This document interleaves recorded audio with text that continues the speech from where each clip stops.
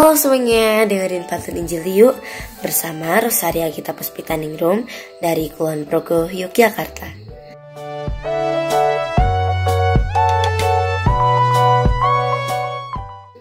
Sabtu 17 Agustus 2024 Hari Raya Kemerdekaan Republik Indonesia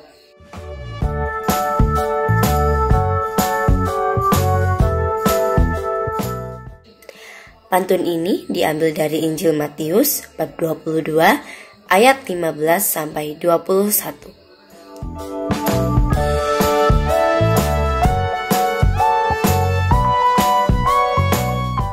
Bapak, Ibu, dan saudara-saudariku yang dikasihi dan mengasihi Allah. Cukup sering kita mendengarkan keluh kesah dari seorang aktivis gereja tentang kerja bakti atau lomba anak-anak menjelang 17 Agustus yang selalu dilakukan pada hari Minggu pagi. Mengapa tidak dilakukan pada hari Sabtu? Di mana aktivis atau loyalis gereja sudah libur kantor. Dalam hal ini, bukankah kalau kita tahu besok ada kegiatan kerja bakti atau lomba anak-anak atau acara lainnya, sebetulnya kita bisa ikut misa hari Sabtu.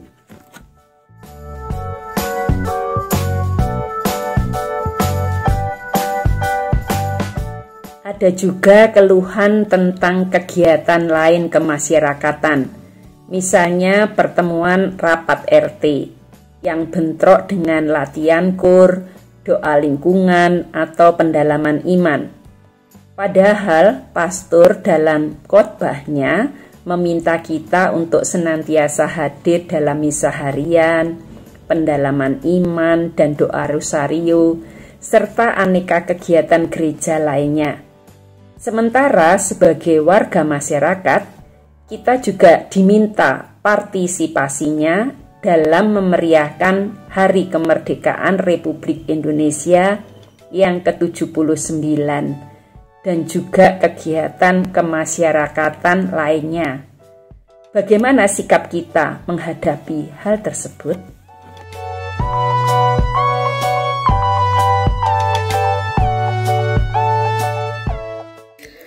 Berunding mereka berniat menjebak dengan akal bulus tak tampak mata.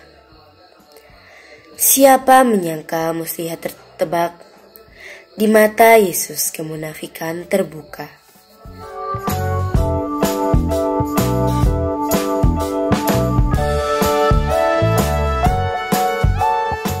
Bapak, Ibu, dan saudara-saudariku yang dikasihi dan mengasihi Allah. Kebingungan semacam itu masih bisa ditambah dengan himbauan Yesus agar kita menjadi garam dan terang. Sementara dalam prakteknya, kita terus berkumpul dengan garam-garam yang lain, sehingga bersama-sama kita menjadi gudang garam, atau antar pelita juga menyala bersama di seputar altar, sehingga gereja menjadi terang benderang. Sementara itu, minim sekali pelita yang menyala di sekitar tempat tinggal kita.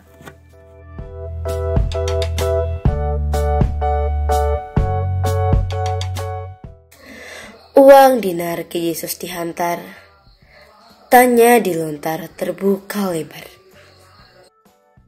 Jawaban benar tak akan terhindar, ada gambar dan tulisan kaisar.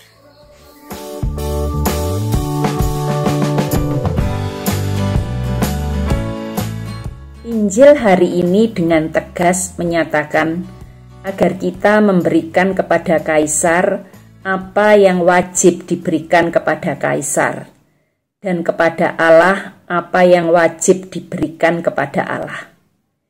Yesus menghendaki agar kita melaksanakan panggilan untuk menguduskan dunia dengan tetap menjaga keseimbangan antara doa dan karya, antara aksi dan refleksi.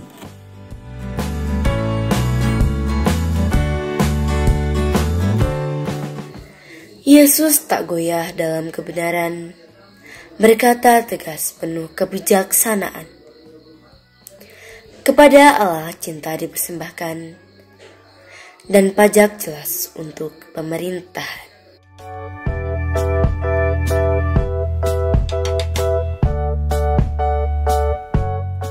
Kalau hidup kita hanya melulu di seputar gereja dan umat Katolik, maka roh kebenaran akan sulit berkarya karena tiadanya alat uji iman. Sebaliknya, kalau kita terus berada di masyarakat, maka dikhawatirkan dunia dengan segala pengaruhnya akan menarik kita ke dalam kegelapan. Itu sebabnya kita akan menjadi umat Katolik yang dewasa apabila rajin ke gereja untuk menimba kekuatan dari Allah dan aktif mengamalkan cinta kasih dalam kegiatan di masyarakat. Itulah yang diimpikan oleh Monsinyur Sugio Pranoto. Jadilah 100% Katolik dan 100% Indonesia. Merdeka! Merdeka! Merdeka!